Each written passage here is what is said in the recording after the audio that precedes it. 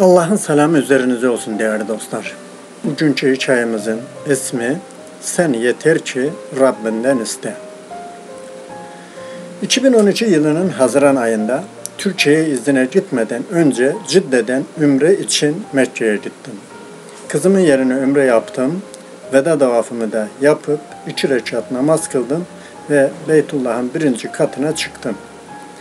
Hacerül Esved taşının selamlanacağı kısmın arkasına oturdum, bir Yasin okudum ve dua etmeye başladım.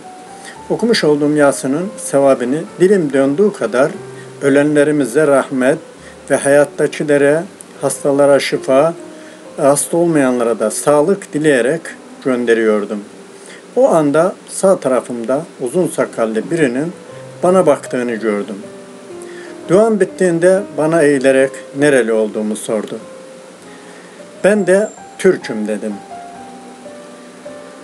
Senin bu şekilde içten dua etmen bana bir olayı hatırlattı. Anlatmamı ister misin? dedi. Buyurun, zamanım var dedim. Yarısı siyah, yarısı beyazlamış bir hayli uzun sakallarını eliyle tarayıp başladı anlatmaya. Ben yaklaşık 25 yıldır bu Beytullah'ta dilim döndüğünce insanlara nasihat ve ders veririm. Bir gün vaazım bittikten sonra oturmuş Kur'an okumaya hazırlanırken sağ tarafta birinin ellerini yüzünün seviyesinden daha yükseğe kaldırmış dua ettiğini gördüm. Herkes bu, burada dua ediyor ama bazıları çok etkileniyor ve çok içten oluyordu. Ben bir cüz okudum. O kişi hala elleri o vaziyette gözleri yumuk dua ediyordu. Aradan bir saat geçmesine rağmen hiç ellerini indirmedi. Buna dayanmak bile zordu. İnsanın kolları ağrırdı.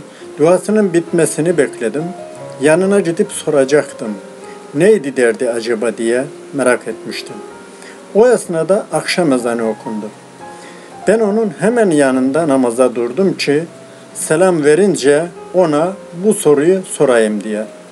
Namaz bitti, selam verdik. Akabinde bu kişi hemen ellerini kaldırdı. Yine aynı şekilde dua etmeye başladı. Az sonra sağ tarafımda namaz kılan genç, çok düzgün giyimli birisi ona baktı.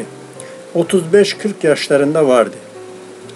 O ise gözlerini yummuş durmadan dua ediyordu. Ve gözlerinden yaşlar akıyordu. Çok etkilenmiştim. Genç kişi cebinden bir demet para çıkardı ve onun kucağına koydu. O bakmamıştı bile, anlamamıştı. Genç adam bana dokundu ve bunu ona hatırlat deyip kalkıp gitti. Ben de biraz sonra dua eden kişiye dokundum ve parayı gösterdim. Bu kimin diye sordu bana. Senin dedim. Nasıl olur? Yanımda namaz kılan bir genç senin kucağına bıraktı ve sana hatırlatmamı söyledi. Ey yüce Allah'ım sen ne kadar büyüksün. Sana şükürler olsun dedi. Sağa sola bakınıp o adamı aramaya başladı ama adam çoktan gitmişti. Kendisine nereli olduğunu sordum. Yemenliyim dedi. Nedir derdin? Ve ne kadar samimi dua ettin ki Rabbim bu kişiyi senin ayağına gönderdi dedim. Anlatmaya başladı. Ben burada çalışıyorum.